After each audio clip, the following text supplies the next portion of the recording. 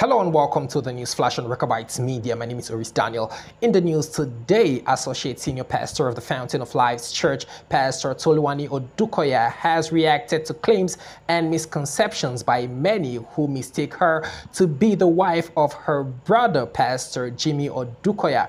Recall that the duo were made the senior pastor and associate senior pastor of the Fountain of Lives Church after the passing of their father, who was the founder of the Fountain of Lives Church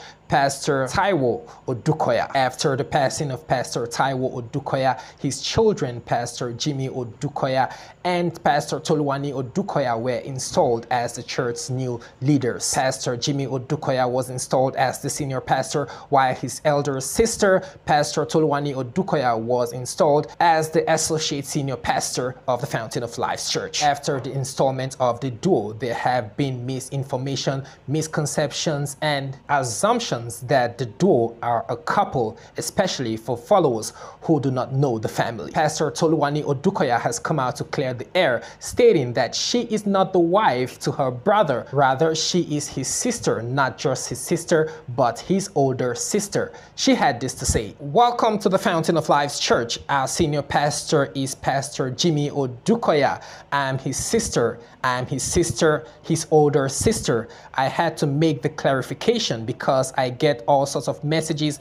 like, oh, that's his wife. No, I am his sister. I am his older sister.